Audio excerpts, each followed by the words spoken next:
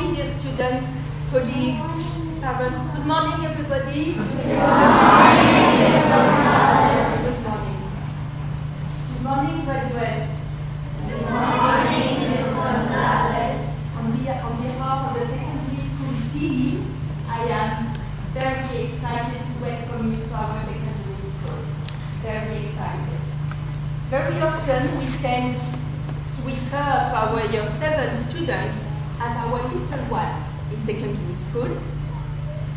But when I look at you today, although we were making ourselves a personal comment with Mr. Jones, you know how cute you look at the end of your 6, how cute you look, you are graduates too.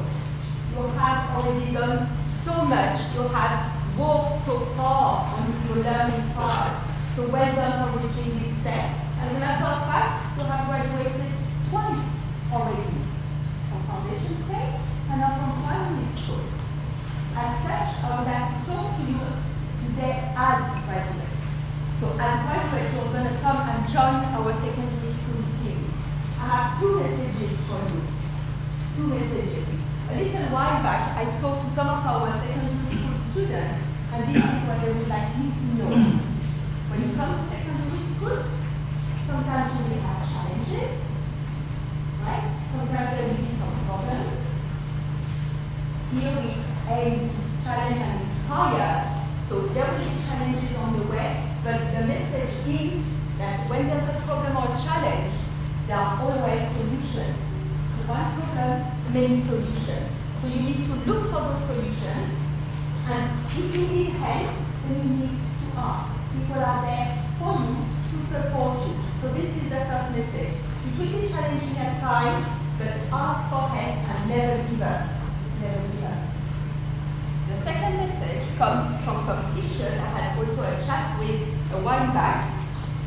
And we're very lucky to be an all-through school at NASAC. As such, we all believe in the same values, in our high five values. And the message is our best students in secondary school are those who display the high five values the most consistently. Okay, so two messages.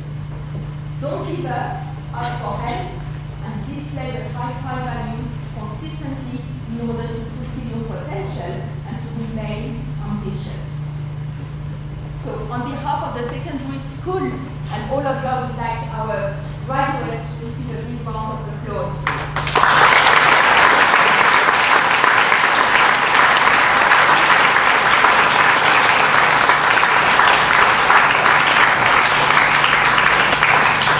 have two symbolic gifts today for our graduates.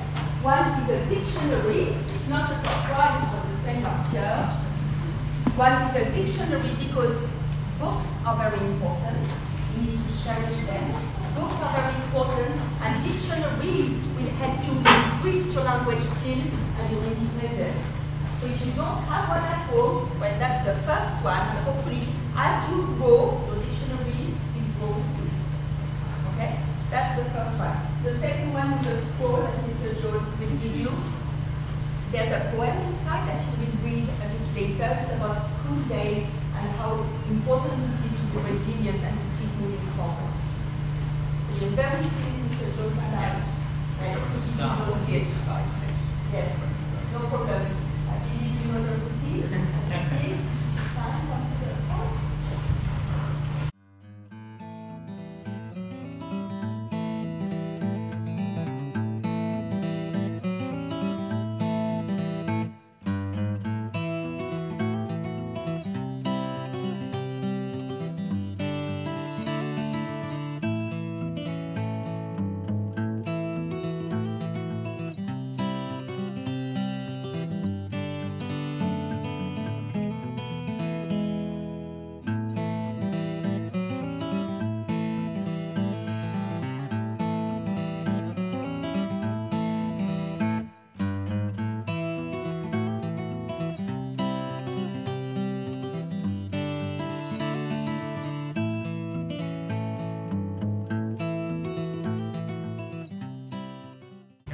this side a big of applause?